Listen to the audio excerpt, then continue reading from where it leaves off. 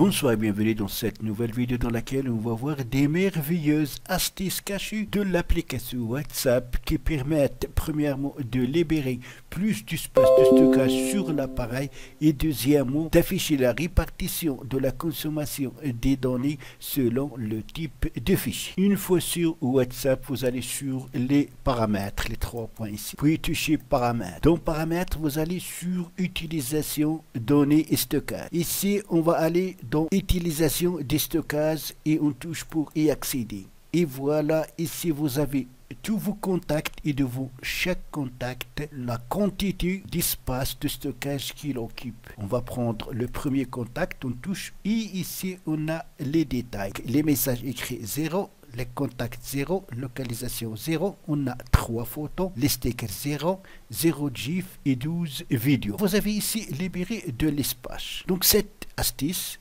va vous permettre de voir contact par contact l'espace de stockage qu'il occupe, réparti selon le type de fichier, message, localisation, photo, stickers, vidéo, et vous pouvez supprimer soit que les messages écrits, soit que les vidéos, soit que les gifs, soit que les photos.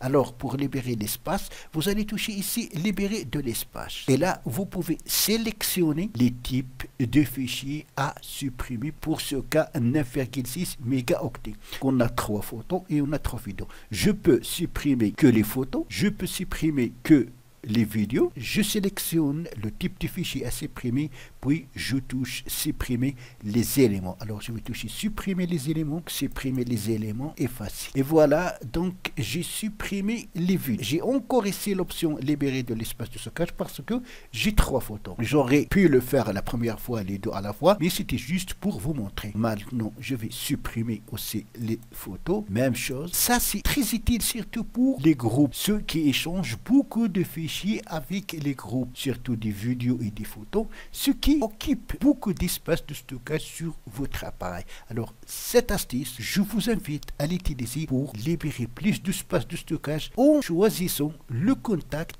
et le type de fichier à supprimer. Donc, autre astuce, c'est télécharger automatiquement des médias en connexion Wi-Fi ou en utilisant les données mobiles. Ça veut dire que les médias que vous allez recevoir sur WhatsApp seront téléchargés automatiquement sur votre appareil quand vous utilisez les données mobiles ou quand vous utilisez le Wi-Fi. C'est à vous de choisir. Ça, ça permet d'occuper plus d'espace de stockage sur l'appareil puisque tous les médias reçus sur WhatsApp seront téléchargés. Alors, pour pallier à ceci, on va toucher en utilisant les données mobiles. Quand vous utilisez les données mobiles, vous pouvez télécharger les photos, les audios, les vidéos d'aucun. Aucun. Moi, je préfère aucun. Ça veut dire que quand j'utilise les données mobiles, aucun média ne sera téléchargé automatiquement dans ma appareil. Les médias aussi dans WhatsApp.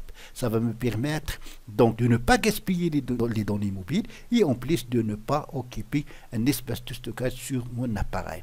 Et aussi, quand vous êtes connecté en Wi-Fi, moi j'ai ici les quatre je peux donc désactiver, je peux laisser que les documents ou rien. Ça ne veut pas dire que les médias que vous allez recevoir sur WhatsApp ne peuvent pas être enregistrés dans votre appareil, mais si vous désactivez ici tout et ici tout, les médias qui seront enregistrés dans votre galerie ne seront enregistrés que lorsque vous les touchez pour les enregistrer. Ils ne peuvent pas être téléchargés automatiquement.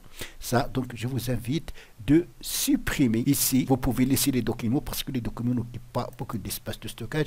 Et même chose pour les Wi-Fi. Ici, utilisation des réseaux ou l'utilisation des données mobiles. Vous avez devant chaque type de fichier la quantité consommée. Donc, il a utilisé ici 243 mégas répartis selon les appels, les médias, Google Drive, messages, statistiques, etc. Ça, ça va vous donner une idée sur la consommation des données relatives à l'utilisation de l'application WhatsApp. Donc, c'est tout pour cette vidéo. Merci de l'avoir suivi. N'oubliez pas de la partager avec vos amis sur les réseaux sociaux et pour ne pas rater les prochaines vidéos, je vous invite à vous abonner à ma chaîne et aussi activer la cloche pour recevoir les notifications relatives aux nouvelles vidéos qui seront postées par la chaîne. À la prochaine fois.